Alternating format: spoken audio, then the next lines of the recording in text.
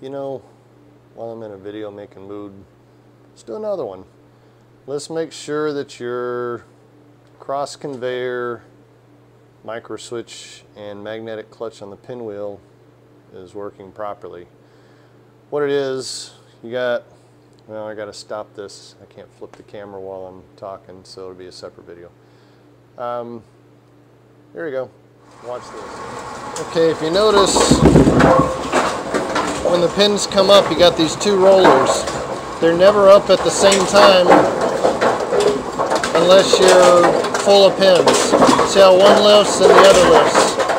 One lifts, the other lifts. They don't lift at the same time normally. So what's going to happen here, I'm going to lock the pin gate.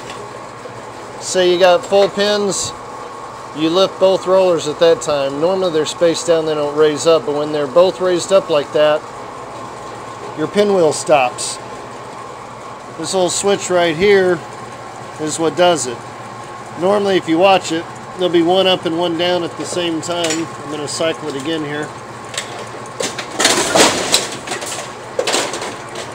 Wait for it to come around here.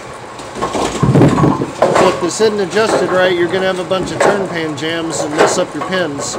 Watch how one raises and then the other.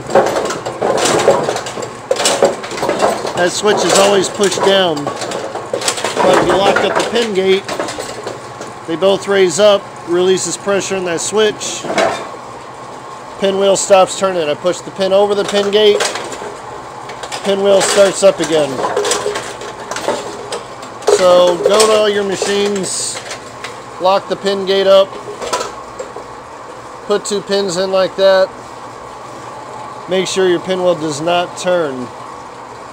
Your, your magnetic clutch could be bad or you might have an adjustment to make on your little roller there, but that's a pretty important one to have to keep from getting a bunch of turn pan jams. So do that to all your machines. Just lock the pin gate, set two pins in there, Make sure your pinwheel does not turn.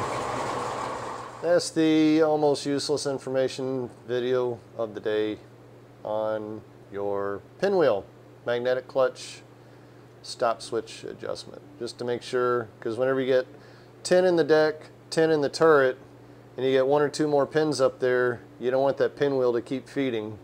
Or if it's going down to set pins and you got 10 up top, there's sometimes that pinwheel needs to stop turning and quit feeding pins. And if your switch ain't set right, you're going to get a turn pan jam, which is a loud, say if your dog was in pain, it's about what it sounds like from the front. You'll hear a whoop, whoop. That, that's the turn pan jam when the clutch is slipping. So whenever you hear that up front, just turn the machine off before you get pins in the belts because they'll cause them to jump up, get caught in a belt, and then you're going to mark up one of your pins. So anyways, another video, stick it in the file. Once you get down your list, do this one, take a look at stuff. See you later.